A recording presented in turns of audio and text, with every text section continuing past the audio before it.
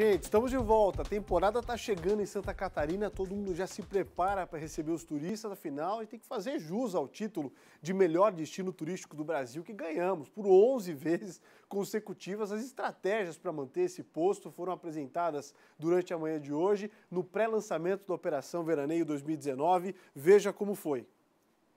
Uma grande mobilização em prol da segurança e do conforto de quem visitar Santa Catarina neste verão. As experiências acumuladas no passado nos permitiram oferecer um Estado muito mais bem preparado em todos os setores.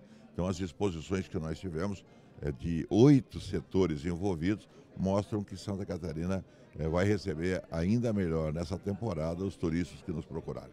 E a expectativa é grande. Aumento de voos nos aeroportos, incremento no número de cruzeiros, no movimento de rodovias Afinal, o estado é o melhor destino turístico do Brasil pela 11ª vez consecutiva. Santa Catarina é um estado destacado né, no turismo nacional. A economia do turismo representa 13% do nosso PIB e isso demonstra a importância e o cuidado que o governo do estado, junto com seus órgãos e com o apoio do governo federal também, a gente tem que preparar essa operação para poder melhor atender o turista. Turistas querem um estado seguro para visitar. A Secretaria de Segurança Pública promete reforço nas polícias civil e militar e no Corpo de Bombeiros, no litoral catarinense.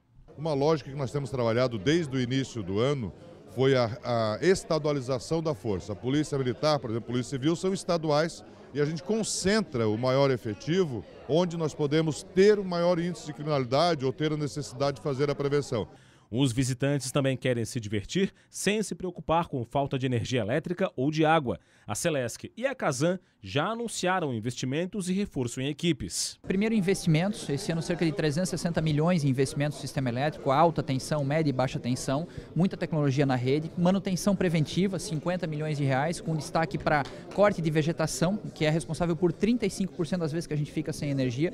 E, por último, mais pessoas disponíveis. Foi uma série de ações que foram realizadas é, pela Casan, como o floco decantador, como a nova adutora de 1.200 milímetros que começou a funcionar em março deste ano, que nos garante a tranquilidade que vai ter água em abundância para atender é, a demanda do final de ano. Além disso, em parceria com a Celesc, é, a Casan já implementou geradores caso haja algum problema com energia elétrica, para que as estações não parem de funcionar, os bombeamentos e a gente possa é, garantir o abastecimento. Na saúde, a prioridade é para o combate ao mosquito Aedes aegypti e à febre amarela e ao sarampo. É fundamental que seja feito um trabalho de prevenção, eliminando os focos do mosquito para que a gente consiga interromper ou não termos é, risco de epidemias no verão. Nós não temos casos de febre amarela e nem de sarampo registrados no estado, mas é importante lembrar para as pessoas da necessidade de vacinação.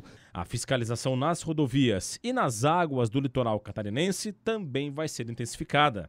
A gente vai trabalhar, como nos outros anos, é coibindo principalmente o excesso de velocidade, as ultrapassagens indevidas, visto que as nossas rodovias, a maioria são, são pistas simples, né?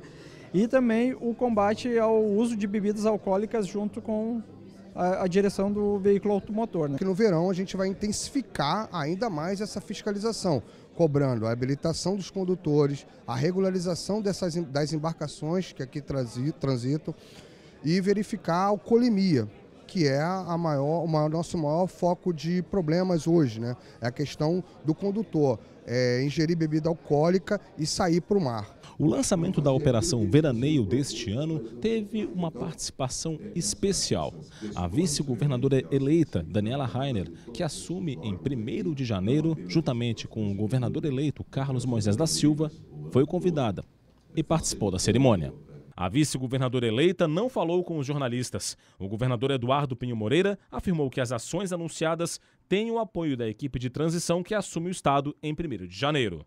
Todos que estão envolvidos, a sua grande maioria, são técnicos. As empresas, as secretarias, as instituições são técnicas. E o comandante Moisés, chamando de comandante agora, mas o Carlos Moisés, ele é oriundo de uma força integrada é, nesse processo de prevenção, que Corpo de Bombeiros. Então ele conhece profundamente a Operação Veraneio.